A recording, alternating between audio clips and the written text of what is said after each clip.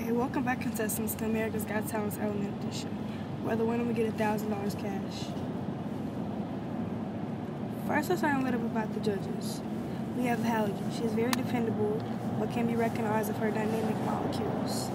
She has seven valence electrons and can range from a lid to a liquid to a gas.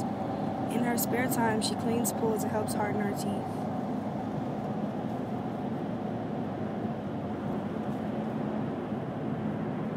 Next, let's meet the judge. Her name is Noble.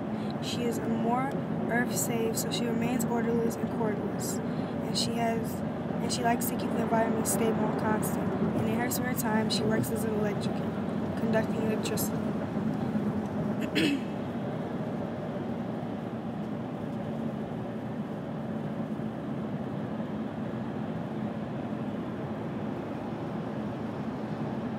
But now enough about them, let's meet the contestants. Hi, we're the Carmens and we're a dance to. Okay, and how many of them are you? We're a group of five. Anything special you want to tell us before you guys begin? Well, besides that, without us, none of us would be here, but we all have similar things in common. Like we all have four valence electrons and we love shopping, so we all decide to blah, blah. Be that. Honey, honey, I can see the stars all the way from here. Hi. Hello. What are you doing for us today? Where's gymnastics group?